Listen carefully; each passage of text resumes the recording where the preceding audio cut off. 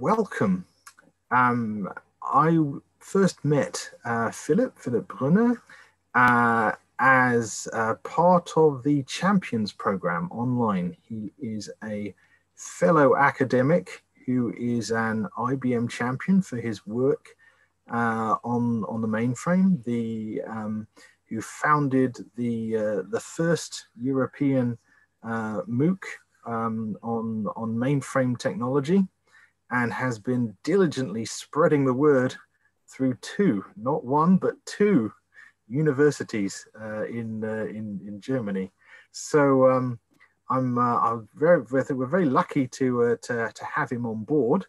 Uh, for those of you who are in uh, education and know a bit about the different systems around the world, and, and myself, I've, I've um, visited the States and talked to people in France and in Belgium um, you would appreciate that the German speaking region, the DACH region, uh, is unique in the strength of its mainframe uh, education uh, profile. And uh, so, uh, so Philip has agreed uh, as somebody who's very much an insider on, on the DACH mainframe education to give us a, a, a tour and, uh, and offer us some explanations as uh, perhaps why it is as strong as it is and perhaps there are some lessons we can learn. So I'm going to get out of his way and, uh, and give Philip the floor and uh, I will watch for your comments and, and engage him at the end. So over to you, Philip. Thanks a lot, Herb. Thanks for the kind introduction. And um, I hope you can see my slides now and myself as well. Oh, Everything's okay? We cannot see your slides just yet.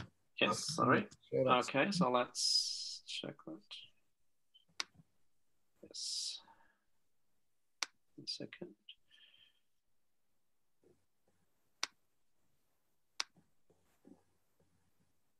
Probably I have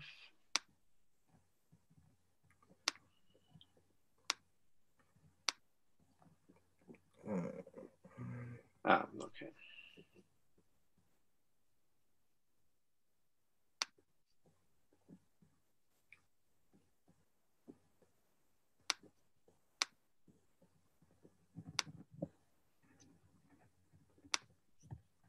Yeah. Hmm. One second. That's just a it's second. so funny. It was great until we jinxed it. Let me. Just going to say one second. If I can it over. Yeah, that's the one. Vol build modus. Okay. All right, so you can see it now, right? Great. Okay, thanks. All right, so thanks, thanks a lot again, Herb, for the kind introduction. And um, it's it's a pleasure to be here. So thanks first uh, to the organizers and to Herb for, for asking me um, to give this talk uh, at the GSE event. And um, I'm very I'm very happy to to speak about these topics.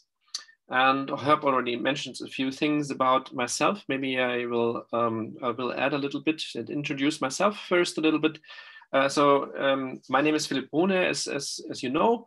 Um, my main occupation is I'm a professor for business information systems engineering at the University of Applied Sciences in Neu-Ulm, uh, which you can see here, the, the logo. Um, if you wonder where that is, uh, we are um, part of the city of Ulm, which is uh, right in the middle between Stuttgart and Munich in the south of Germany. And unfortunately, we are not so well known. Um, we are a medium-sized city um, but a very beautiful city, old medieval uh, city and a cathedral. And um, yeah, so we are we are located in the south, and um, the University of Neu-Ulm is, is not so big, but uh, I'm also teaching uh, mainframe stuff at, uh, or mainly teaching the mainframe things at um, different other places. First of all, of course, I'm teaching this since 2015, as Herb mentioned, at the Goethe University in Frankfurt.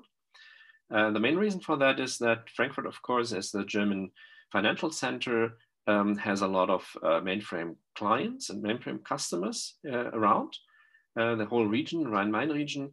There are many, uh, the, the, big banks, some big insurances, uh, and other financial service providers. So this is really a mainframe area, and therefore um, the, the need and the, the relevance of these things there is much, much higher than in, in other regions. Um, this is because, um, of course, mainframes are mainly used by large companies and large companies in Germany um, are typically uh, either the automotive companies, are, which are more in the south. So we have also here in, in Stuttgart region mainframes, mainframe clients, or they are uh, financial services and also retail.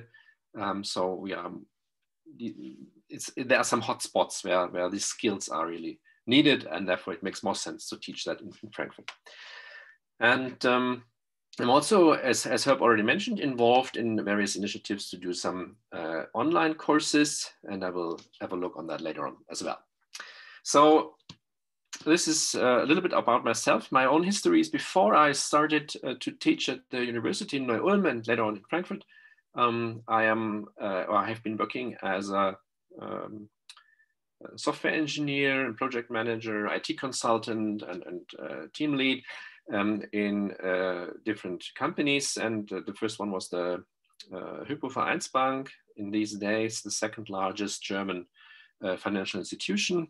Nowadays, it is uh, belongs to the UniCredit Group, um, so it has changed. But in these days, this was of course a big mainframe shop as well. And later on, I worked for um, BMW, and um, then I went to the to the university. So um, I have some background in these fields and practice as well. Sorry to interrupt. We yes. didn't see your screen change, so we can still see the opening. Yeah, that's fine. I'm still talking. I will okay. change. Sorry, there was no change. So now there will be a change. Sorry.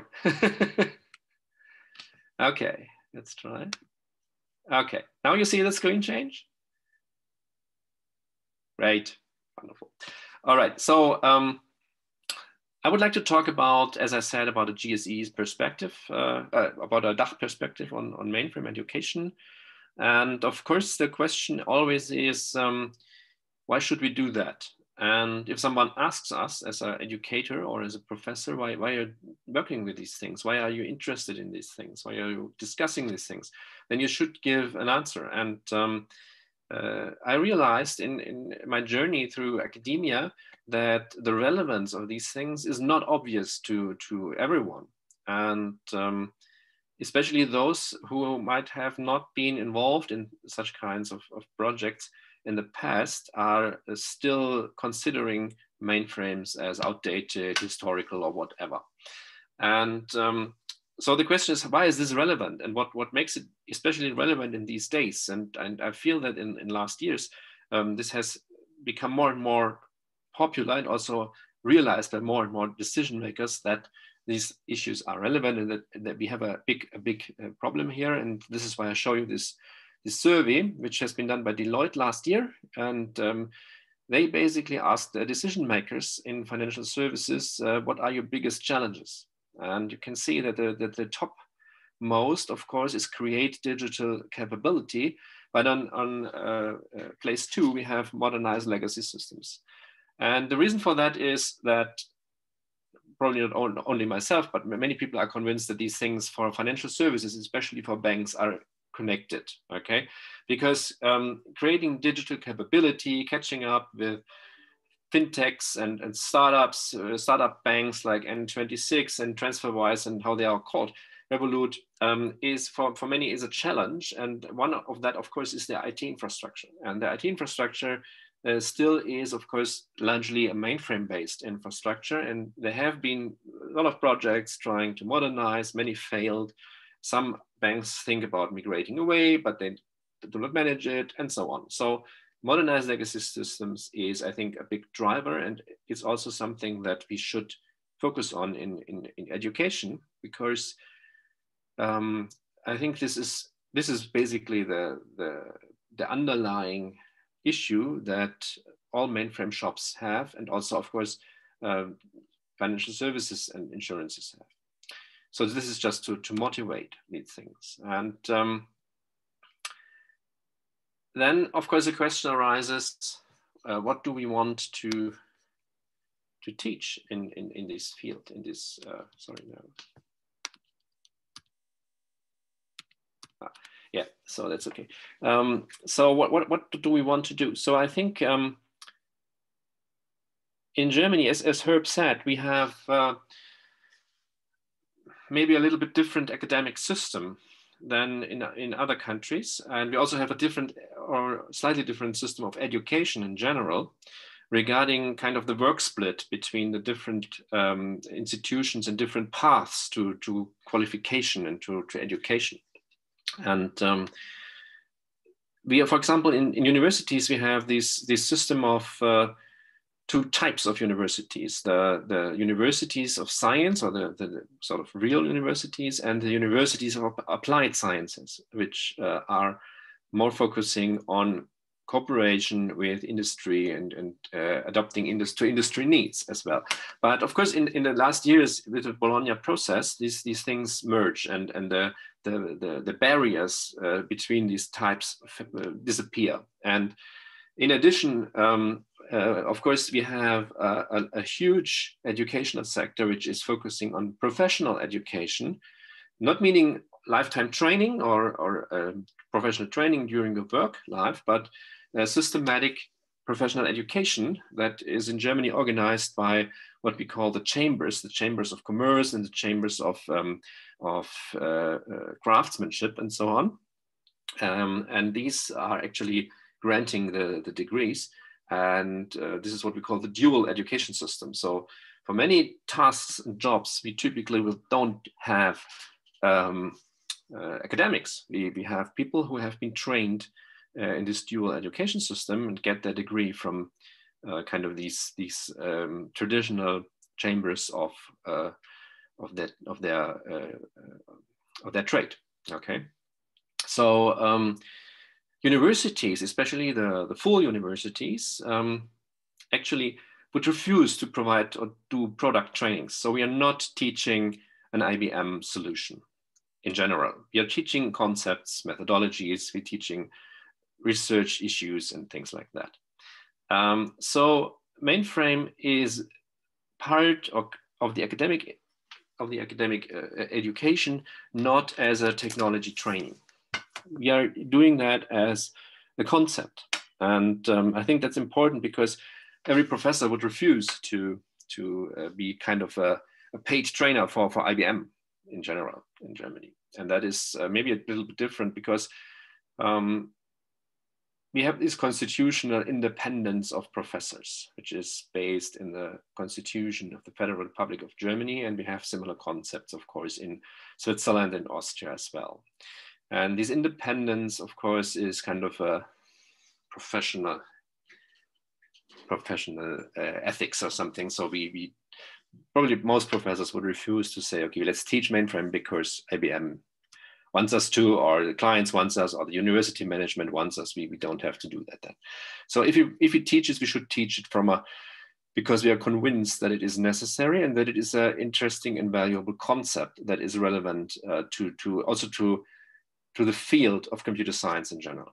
And um, so I, I see mainframe more as an architectural paradigm with a lot of implications than just a product.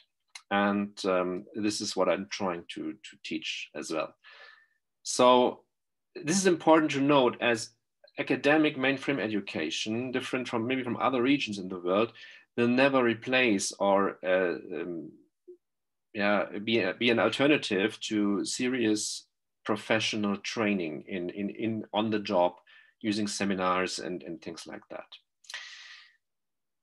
So the graduates of a university program regardless if they are bachelor or master, typically will in, in, in the DACH region will not work as a kind of a system administrator or operator or something like that. They will typically go to fields like software development, custom made software development. The German IT industry is largely focused on custom made software and, and individual consulting services and things like that. And they, it is also strongly dominated by small to medium sized companies that are sometimes not even well known outside their special domain. And um, so software developers, architects, consultants, or project managers. These are typical roles that um, graduate from a master's program, for example, in computer science or information systems, uh, would typically take take over after after graduating. So they are seeing for them mainframe or legacy system skills in general provide an added value because these are the, the topics that they will be confronted with in professional life afterwards. So the lectures, the focus of academic lectures on this field is mainly provide an introduction, giving overviews, understanding technical and also non-technical implications of mainframes and of this kind of paradigm. Also learning, of course, some maybe some, some vintage languages like COBOL and PL1 or so, uh, at least the basics of that, understanding how z/OS works compared to other operating systems that they, that they have or that they learn or, or know and all these things, but they will not learn in detail typically to uh, set up a mainframe system completely, for example, or to administrate or to, to, to, to optimize or things like that. These uh, is more focused, or these, these, these kind of hands-on things on uh, administrating these mainframe systems or products is typically what in Germany is, is more done by so system programmers tasks or database admin tasks will be typically, not always, but mostly more graduates of the professional dual education system, which we call Fachinformatiker in Germany, the, the degree. And um, uh, there are similar systems in Switzerland and Austria as well. So they also have a lot of these professional training things and people educated there will be more in uh, let's say, in, in, in, systems administration in general, not only in the mainframe domain, but for all kinds of platforms. And um, so I think these are some, some issues that, that you need to understand to see uh, what would motivate or what, what leads to actually uh, dealing with these things. So first of all, academics must be convinced that they do something valuable and that it is contributing to their research. Second thing is um, do not expect that academic mainframe education will replace or solve the skill gap issue alone. Because in our in our domain we need to to do that things in professional education as well.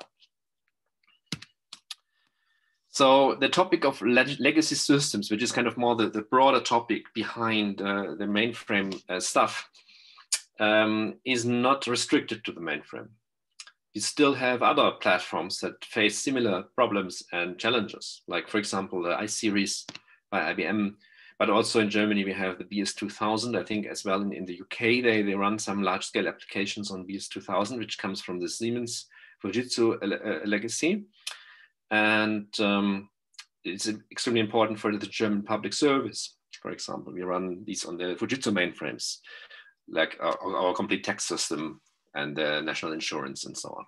So there are some other platforms that are more or less uh, coming from the same history as the IBM uh, mainframe and face similar uh, similar issues.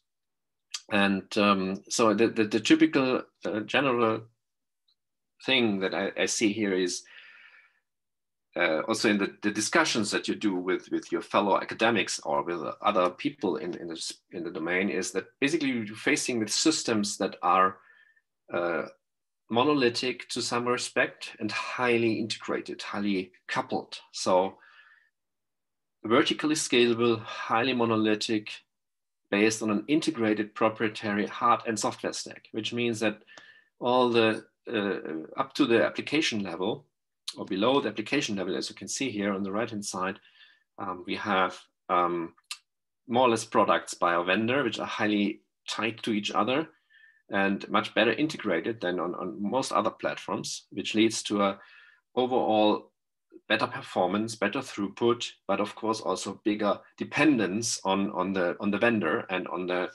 um, on the uh, yeah, make, making things proprietary and, and not easy moved away, which is the, the basic challenge that, that some companies uh, don't like. And that, of course, is something that, that has to be taken into account as well. So the benefits of the platform is a, the, the, the, nice integration between the layers. And I'm always telling the students that it's not restricted. This, this concept is not restricted to the mainframe. You have the same in the Microsoft stack, for example, and people also using Microsoft products sometimes, especially for this integration. So it is a value by itself.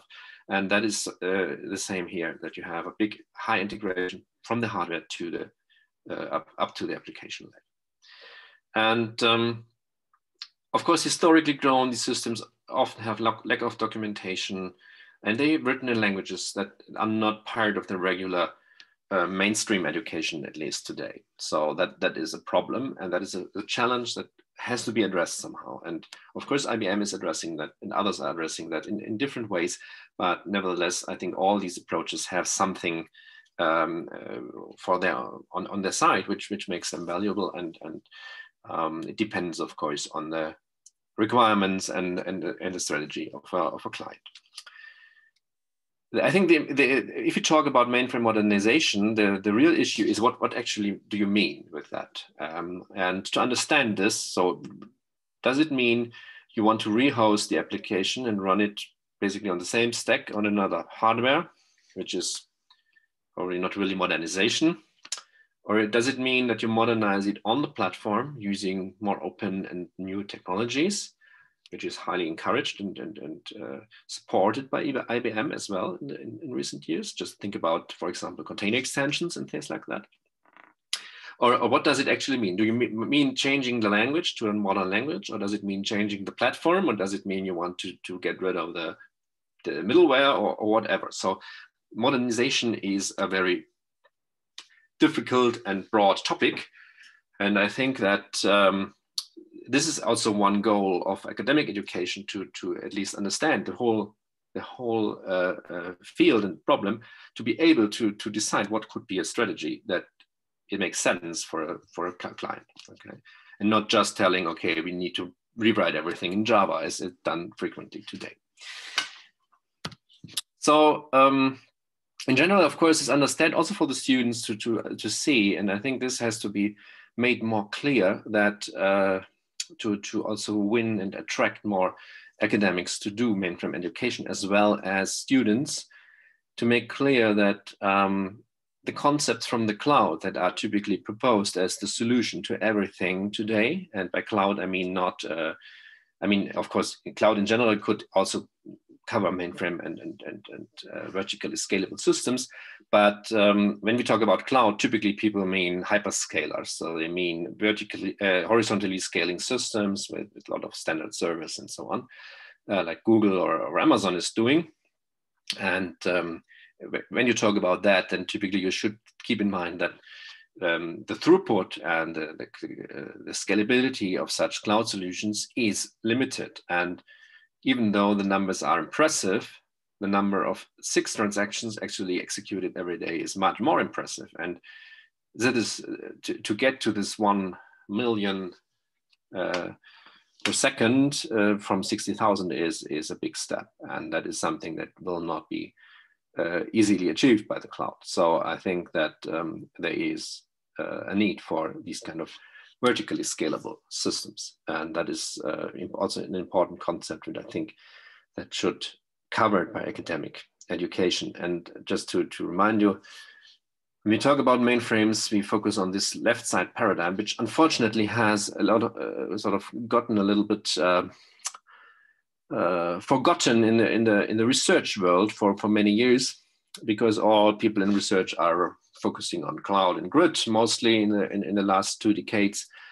And um, still, the impression is, and this is of course what governs the education as well, is that, that this is uh, the future in solving everything. And I try to, to outline why this is not the case. So we, why we should talk about vertically scalable highly reliable scale up platforms like the mainframe, but of course, like others, we like power systems and things like that as well.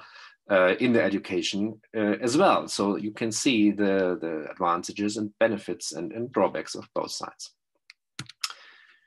So why should we care as an academic and why I wanted to, of course, to convince more colleagues from other places to, to uh, sort of uh, think about mainframe education and, and, and introducing these things back to the curriculum.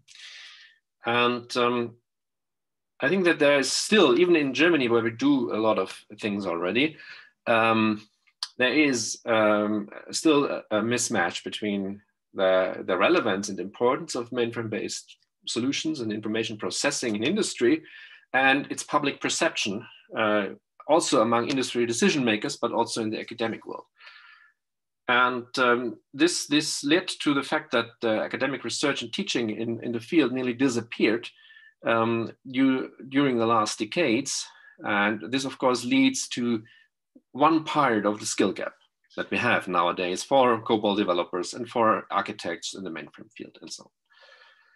So on the other side, this, is, this of course means that, that the academic education more or less ignores a large part of today's mission critical information processing, which is not a good thing by itself. So because we need to introduce students to everything that is relevant. On the other side, we have, of course, which I try to outline is that legacy modernization is crucial and that we have the growing skill gap. I think you all know that. Uh, and it's probably the same everywhere. And I think that during the pandemic in this, this uh, New Jersey issue that, that came up in earlier this year the unemployment uh, insurance system in the US in, in New Jersey, um, that even made it to the, to the everyday news and made the governor make a statement even though this statement might not be accurate and, and, and, correct, but nevertheless, it got a lot of focus to the problem. And I think that it, it, it, it is an example that made realize or may, may make many people realize that, that there is an issue and that we should attract it and uh, attack that in, in, in education. And beside this, of course, there are still so many interesting research opportunities because this is still a niche for, for research and, and in, in a niche, you can always find some new gems to, to study. So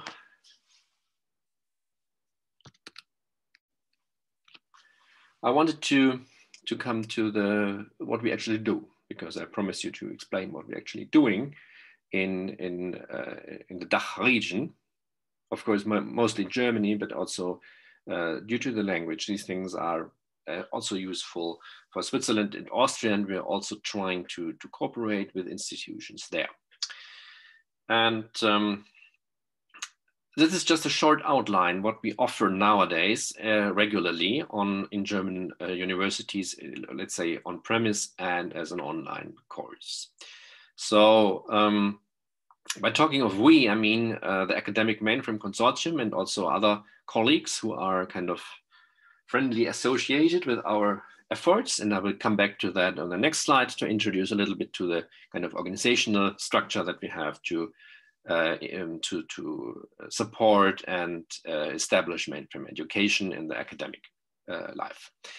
So running local courses that are existing for usually for many years already, all of them have a history that is five to 10 years at mi minimum, are um, of course the courses that I am teaching in Frankfurt and these are two master uh, level modules with five ECTS credits each. And um, we're doing that on uh, as part of the master's programs in computer science, but also business information systems. And also it could be used as an elective for students from other um, domains as well. So it's kind of a part of the master's education in, in computer science and related uh, programs. And um, this is a two, two semester course with to introducing, starting with a mainframe computing class, which is kind of a uh, laying out the basics, talking about the hardware, uh, the architecture, operating systems, uh, programming languages, and so on. And enterprise mainframe computing, which broadens the view, uh, getting to enterprise related uh, technologies in general. Um, of course, focusing on the mainframe, but uh, many things that we do there are, of course, concepts like message queuing, transaction processing, Java EE, and things like that that are not restricted to the mainframe, but also valid and important in other on other platforms. And um, there's similar program or similar modules in uh, University of Leipzig, which have a long history dating back to the late uh, Professor Spruth, who was the kind of uh, formerly IBM employee who set up a lot of these mainframe things in in um, in Germany already many years ago. So he's he he passed away, I think, five years ago. So so he, his main activities are in maybe a decade ago in this field, but still uh, his legacy is kind of the basis of many of the things that we do. And also he, he was professor in Leipzig and before that in Tübingen, so University of Tübingen as well, has still these courses and also uh, extending that. And uh, here Gerald Kreisig is kind of the, um, the, the, lecturer. He's a former IBM, uh, retired IBM engineer who is, who is doing that um, in Tübingen. So we have um, regular long running courses in three major places, also a little bit split, distributed uh, over the map in Germany. Um, but of course, this is not this is not uh, everything because today uh, also um, we should explore the possibilities of distant and online learning. Um, and we all learned in the pandemic that that this is uh, also very important to have a education system that is reliable and resilient against uh, crises. So um, I think that especially in such a, a, topic that is a little bit special and where lecturers and, and educators are not uh, available everywhere, um, online courses could provide an interesting uh, alternative. And um, as you know, as Herb already mentioned in the, in the introduction, is that um, I myself was involved in the first German mainframe MOOC, a massively open online course that we provided on the platform offered by the Hasso-Plattner Institute. Hasso-Plattner Institute is an institute of the University of Potsdam, uh, which is founded and funded by um, Professor Hasso-Plattner, one of the founders of the SAP, uh, who invests a lot of his uh, wealth in this, this uh, institute and um, it's associated with the University of Potsdam. And they offer a lot of different things and also have a nice platform for providing free online mainframe, um, massively open online courses, which is called openHPI. And so it's open and free for everyone. Even the materials are accessible by everyone. And um, we did this introductory course on mainframes there, which I might show now a little bit. So, so this is the, the page. Uh, you can get it on OpenHPIDE. And they have a lot of other courses, of course, most of them related to information systems or, or computer science.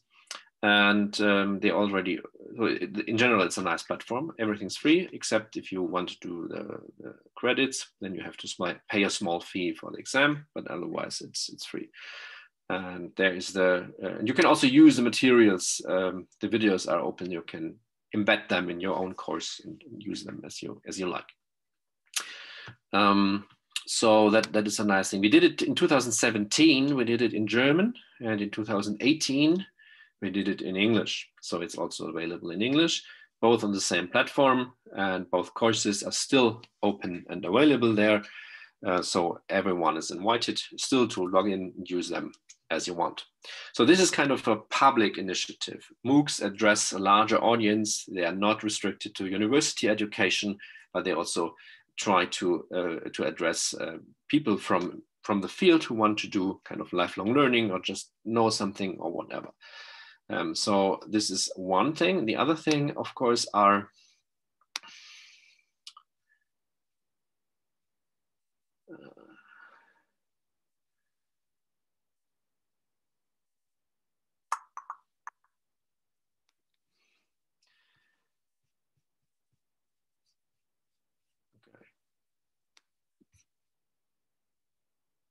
this was the wrong one.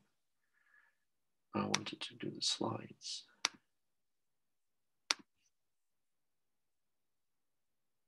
Yes, I hope you can see it again. So this was just a short look on the on the mainframe MOOC to, to show you how to find it. Beside this, uh, because as I said, MOOCs are more addressing the broader public for uh, really doing university courses. There's also an offering um, which we designed um, at the so-called Virtuelle Hochschule Bayern, which is a, a, platform provider by the Bavarian universities, a governmental uh, uh, platform. And it is open and free for all students enrolled in a Bavarian educational institution. They are, it's not open for the broader public, but it's on the other side, it's offering uh, much more um, university style courses with including exercises, including practical parts, and including also, of course, a regular exam, which allows to um, to do this course every semester and get really get the credits and take it home to your home institution and do it there. and take it into account for your studies. Okay, so this is the, the, the upside. The downside is that it's restricted currently to Bavaria. Participants from other states in Germany and other regions could take part, but they have to enroll and pay a fee. Okay, so that is the idea. And I worked with Professor uh, Wilke from from uh, Friedrich Alexander University in, in, in Erlangen, Nuremberg, Nuremberg um, together to create these mainframe programming one and two. They are in German, uh, but the advantage is, as I said, that, that this really allows to have mainframe courses on every university in Bavaria, and that are uh, still a lot. So that is it's a good chance to get this topic in the, you know, to a broader audience. And um, the the split here, programming one and two, is very similar to the one that I'm doing in, in the Goethe University. Uh, so mainframe programming one is uh, a lot about COBOL and also about um, the platform, the architecture, operating system, and things like that. Uh, mainframe programming two is more about enterprise uh, technologies and broader view like current trends, Docker and blockchain and things like that. Okay, so this is this is uh, kind of the landscape in Germany. In in Switzerland, for example, that there's also an offering at the um, Hochschule Luzern, uh, which also uh, has their own mainframe system. And um, there's an offering in Austria as well by some um, more from the professional side, uh, like dual education, um, that doing mainframe courses regularly as well. So I think in this region we are set up with, um, with uh, a decent number of, of good uh, educational opportunities and also the, the, the students like these courses, I think. So the, the, the reception and the number of participants is, uh, is growing and it's also um, kind of a constant amount of people taking these courses. And I said already we, so what do I mean by we? So in, in, in Germany uh, and also including people from the neighboring countries like Switzerland and Austria, um, uh, in 2015, we founded what we call the Academic Mainframe Consortium, which is a, a non-profit organization. Um, it's a German uh, called Eingetragener Verein, which is a, a society that is non-profit. And um, so the, the goal, um, the mission of this institution is to support the academic mainframe related education with some some support as well for, let's say, professional education. And um, it is open, and, the idea is that we, we try to, to create a community for a joint effort that brings together the researchers, the academics, the students, and also the companies that are requiring mainframe skills or looking for mainframe um, employees in, uh, in a forum and pro provide a forum that allows to to uh, learn from each other and also to um, to get the students um, kind of attracted to the companies that are searching for mainframe skills. And um, what we do is that uh, we organize regular meetings uh, with all members, industry members, as well as, as academic members, uh, usually two or three times a year. where we traditionally in the past did one meeting in IBM lab uh, always in, in January. Okay, this year it was a little bit uh, difficult, but uh, or next year it will be difficult, but um, we, we hope to resume this tradition as soon as it is possible. Um, and beside this, our meetings are usually hosted by one of the company or university members. So we meet at a place and um, do our meetings there, having talks, discussing things, um, sometimes having tech updates from IBM itself or other companies, uh, solutions, or also from research, and um, kind of also discussing strategy in cooperation between companies and universities. And the second part, of course, is by the membership fees that are, have to be paid, especially by the companies. Um, we support financially the operations of mainframe systems at the educational institutions. And this, of course, involves not only the, the systems themselves, but also teaching uh, um, salaries and, and, and uh, technical stuff and, and things like that. So Academic Mainframe Consortium currently is a more or less German speaking institution, but we are still open, of course, to members from abroad as well. Sometimes IBM people are there, sometimes um, I think Herb was there. We also organize, uh, that was, and maybe that is something to conclude. I have some pictures here about initiatives and things, nice things that happened during the last years and that academic men, the AMC was actually supporting and, and, and doing. So here on the left-hand side, we is a, is a photo of a group of students and other young people. Uh, we organized a summer school last summer in Stuttgart or in, in, in Böblingen in the IBM laboratory, uh, which was really a, a, great success. And this is kind of the, the group's uh, photo here. There were talks by companies, by, by IBM themselves. Also, we had some social events and things like that, like a summer school is. And this was funded for the students by the AMC and organized as well. Um, here you see a screenshot of the MOOC I just showed you, which is uh, um, also, I think, kind of a flagship project that we did during the last years. Um, myself and, and Wolfgang Greis of the European Mainframe Academy, as well as Professor Polze from uh, Hasso-Plattner Institute. And um, here you see what we also do is supporting hardware and hardware and software, of course. Um, so you can see this is uh, um, a donation that has been made to the AMC, um, the storage system DS8800, uh, which was donated by the, uh, the DATEV, uh, which is a big mainframe client in Germany, to the AMC. It is uh, actually two systems, and one is in, in, Frankfurt now, and one is in, in Leipzig. And also we have um, the just recently have been donated two actual mainframe machines. This is a C12 uh, generation system, zBC12, uh, that we just got in, in, in, Frankfurt.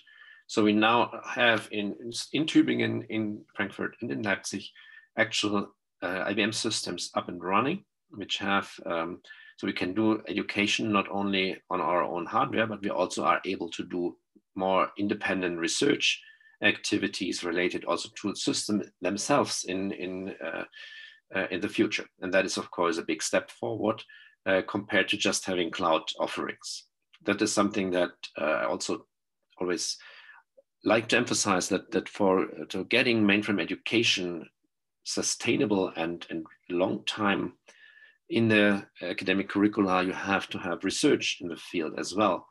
Um, because professors usually teach what they like and they like what they research. And if, if there's no academic research in the domain of vertically scalable systems, then there will be no education in the long run. And so I think it's important to have the machines as well there to do some hardware related uh, things or system related things as well. Okay, so this is, um, and of course, these systems are for education, and nice, it's nice to have to show the students the systems and giving them the chance maybe to really do something hands-on on the hardware management console or whatever in the future. So this is a group photo here, some members of the AMC, some supporters, some people from the team in Frankfurt who are doing the system.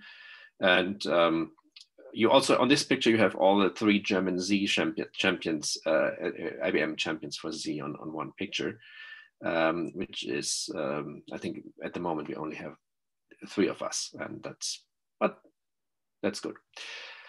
All right, so this is something to conclude with. I wanted to conclude with this nice uh, overview of our recent activities and showing that there is a lively and working ecosystem between universities, academia, and so on. And this is a picture of our university in Neu-Ulm, which I like to, to show you as well to uh, as a final slide to, to conclude uh, this talk. And now, of course, I'm happy to uh, discuss and uh, answer questions.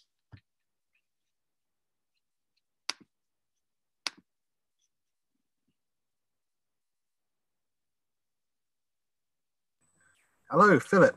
Can yes. you hear me? I can hear you. Ah, fantastic. Great. Can you see me as well? I'm not yes, sure. Yes, yeah. I, ho- I, hope I'm still in time. So yes, let's yes. see. No, no, no. We, we, we have we have plenty of space yeah. for, the, for the question. But, yeah. Uh, thank you, thank you very much indeed. Uh, the first one we have a uh, a comment from uh, uh, Michael Carey, a professor from from Ireland. I I, yes. I can't remember if we if we've all met um, at, the, at the same time, but I know you and and I know mm-hmm. him. Uh, so his is a, a, note on the differences in the between the systems, mm. um, where some of the phenomena that we see often is that often university courses seem as if they are in competition with some of the professional courses, and maybe this causes mm. uh, some of the difficulties that we see. Uh, moreover, he, he, wanted to know if you had any feedback on uh, on the MOOCs. And how did you decide on the curriculum that would go into them? All right. So for the MOOCs, um, actually, um, there was a lot of feedback um, the, by, by the participants, which are which was mostly positive, and um, uh, still some people are enrolling in these courses. And and uh, what is was interesting, the first MOOC I think it had about three and a half thousand participants, uh, with a large number of them not from directly being students, but many professionals as well. Sometimes people who wanted to know about the mainframe, sometimes mainframers who wanted to just see what we do, if there's something new to learn for them. So it was a very uh, heterogeneous and broad spectrum of people there. And uh, we also had some lively discussions in the chat during the first episode, the first time it, ran. And um, so the feedback and also the systematic feedback that was gathered was was rather positive. Some people said, okay, it was too too too deep, technically too deep at some places or some points in the in the curriculum. Okay, this depends on your individual uh, background, of course. But um, besides this, it was very very positive, and also from from uh, this is what why we did it again, and also the Hasso-Plattner Institute was very impressed by the numbers of of enrollments, which was higher than on average on their courses. And also the number of people who actually did the final exam uh, was, was much higher than the, the percentage was much higher than in other courses. So they were really convinced that this is, was a good offering. And this is why we did it again in, in English language then to attract it or make it attractive for, for a broader uh, audience in, in Europe and so on. And um, yeah, so the two courses are not completely identical because we added some new stuff. And this brings me to the question, what, what was, uh, how did we decide on the curriculum? So um, I think it's, it's important to understand that in Germany, actually only a professor decides what he wants to teach. And of course, even though this was a, a kind of a joint effort, of course, we had to to discuss first what we think. And I think it was very good to, to have Wolfram on board because he, of course, has a lot of professional knowledge.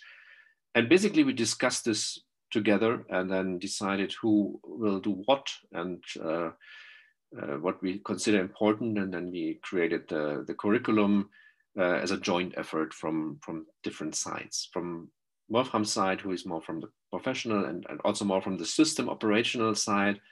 Myself, coming more from the software development and architectural side, and also Professor Polze, who is more from hardware architecture in general. So I think it was a good mix, and we, we tried to, to span a large scope of, of different perspectives and, and issues around the mainframe, I would say. And um, regarding the normal lectures, of course, it's it's actually uh, something that, that the individual professor decides upon his or her personal beliefs what, what is relevant that is independence of teaching. And of course um, we're trying to to match that. I mean i'm trying to match that. In, in the academic mainframe consortium we also discuss about these things uh, in our meetings. So i think this is a good platform to to exchange what could be relevant or what, what is needed. And um, of course, I try to in, in, in include also members, um, industry members of the AMC, uh, sometimes uh, giving a guest lecture in, in the courses. So we have industry perspectives in there as well. I hope this answers the question. Yes, I, I, I think so. Th- thank you, thank you very much indeed. Uh, I mean, j- just uh, just a note on there. I guess in in theory, our principles are the same about you know, professors defining the curriculum and um, uh, you know as being very independent. It, it's often how you strike the balance in practice mm-hmm. that is uh, is a bit um, that is a bit complicated. Uh, we had a, a note um, uh, it, it's great that you you actually have your own um, mainframe. Mm. Maybe you want to say something about how you got access to those because this seems like a, a brilliant example of industry and academia working together. Absolutely. So this is, of course, as, as you said, it's um, it would not have been possible without uh, the companies. So um, I always emphasize also in the AMC meetings the, the need and the advantages of having a real hardware system on, on premise that students can touch and see and, and work with. And um, this got, so Wolfram Greis is very active in the mainframe community in Germany and he knows basically everyone, I think. So um, what, what we managed as AMC was that um, the two storage systems that we have were donated to us by um, by the DATEV. As they, these are systems that are not the newest ones. It's, these are systems that, that, got out of their data center. They were just uh, kind of uh, switched off there. So it, it's it's old. It's not the newest hardware, but of course it has some uh, also some monetary value.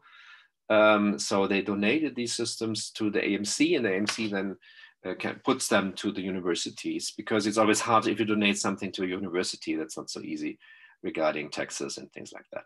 So um, uh, the systems belong basically to the AMC as a society, and we we kind of move them, bring them to the universities, and um, so these are the storage systems. Then we got two um, Z11 machines donated by Fiducia GAD some years ago, which are uh, placed at Tübingen University and Leipzig University. And just recently, this year, we got these two machines now, zBC12, so newer ones, um, uh, which one got to move to Leipzig and one came to, um, to Frankfurt, which are donated by T-Systems International. Uh, all of these machines have gone out of service there just before. So it's not, it's, it's, it's systems that have been used just a few months ago in still in production and now moved to the university. So I think these are, it's not the newest hardware, but it's, I think, uh, recent enough to do all the, the modern things on them. And um, regarding the, the software, of course, uh, for academic institutions, um, the, um, the IBM software in general is available through the academic initiative. Um, we managed to get uh, a z/OS, which is not restricted to ZPDT, uh, thankfully, due to the support by IBM.